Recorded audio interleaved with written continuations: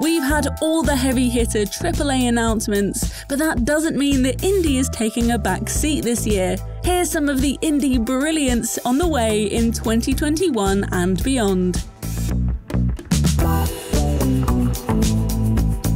The latter half of the year is always fit to bursting with incredible big releases. But if you're looking for something a little different from smaller development teams, 2021 has some seriously exciting indie games on the way. There's a couple that will probably sneak into next year. Yes, Silksong, we're looking at you. But the majority of the games in this list are scheduled for a 2021 release. This means whether you're looking to team up with a beaky friend in a post office or just organize a unique B&B, there's something right up your quirky alley here. Subscribe to Logitech G so you never miss another video from us, and prepare for some of the most exciting indie games to come in 2021 and beyond.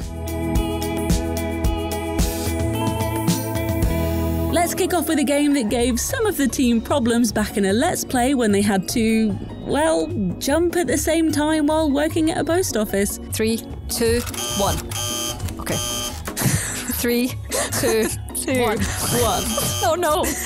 KeyWe is a frankly adorable co op adventure where you'll have to grab a feathered friend and work out how to send mail successfully before the time runs out. You're probably already sold on the concept. Just look at these two. But KeyWe constantly mixes things up and is full of inventive puzzling that genuinely feels like proper teamwork.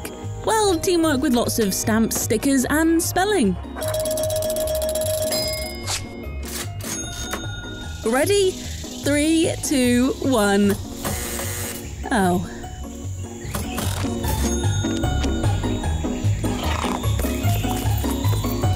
What's a natural progression from working in a post office? Well, delivering the mail, of course, which is exactly what you do in Lake. Here we arrive in the peaceful Providence Oaks, in Oregon in 1986 with Meredith Weiss.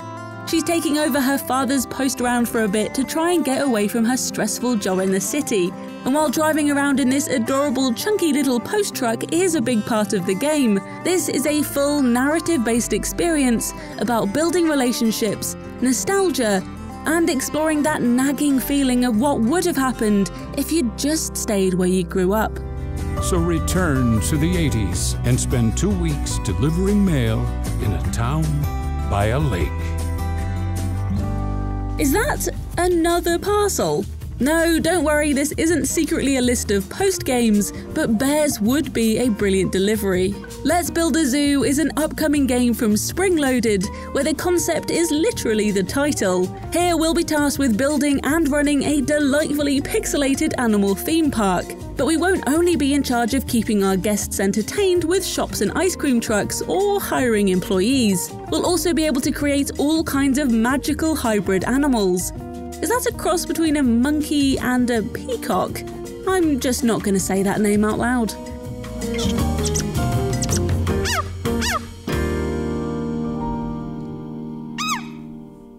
There's no getting around it. Moving house is stressful.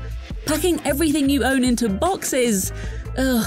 But it's a very different story on the other side. Suddenly, you have a clean slate, a fresh new space to make your own with all your things. Herein lies the joy of unpacking. A game all about that satisfying ripping open of a box and finding a new perfect home for everything. Plus, you get to work out the story of the person you're creating a new life for just by contemplating and moving around their possessions. Definitely not creepy at all.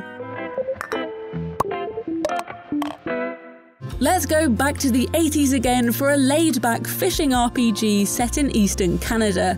Moonglow Bay is a beautiful voxel world that's perfect for those of us who spend most of our time in games like Stardew Valley or Animal Crossing with a rod in our hand. Here we can fish the day away with purpose as we explore a quiet town and build a thriving business, as well as forge vital relationships.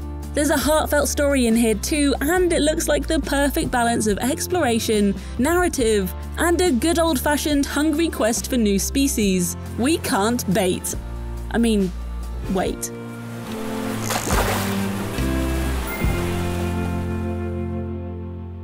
It's the existential, age-old question: Does a bear run a B&B in the woods? Well, he does in Bear and Breakfast, where we must build and furnish the ultimate guest house for the tourists who make their way into the forest, blending management with plenty of story based side quests and other hijinks. Bear and Breakfast is the kind of game we had no idea we needed in our lives. Build a reputation by providing the ultimate in hospitality instead of eating people. Sign us up. And yes, for breakfast too. I'll have the pancakes, please. Thank you for choosing Palm Voyage. No refunds. Sometimes you just need to hear who is making a game to know exactly why you need to play it. Fulbright has only previously made Gone Home and Tacoma, but that means you already know that Open Roads is going to be a very special narrative journey that will get you right in the feels. Open Road stars Keri Russell and Kaitlyn Dever as a mother and daughter who discover a secret stash of old letters and notes in their attic. This sends them on a road trip to uncover the truth behind their family's secrets and on the hunt for potential lost treasure, just as long as we don't cry as much as Gone Home.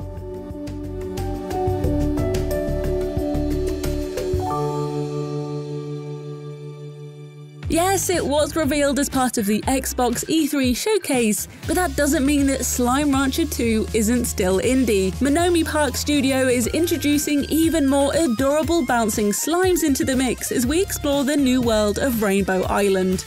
The good news is we'll still be trying to suck up smiley creatures into a vacuum and trying to stop them escaping and eating each other's waste. And if you haven't played the original, you've got plenty of time to catch up with this grinning lot, as the sequel isn't out until 2022. Prepare yourself for some joyous farming and chill organisation.